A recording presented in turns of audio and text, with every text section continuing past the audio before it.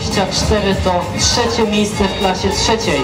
Grzegorz Musz i Bogusław Browiński. Brawo!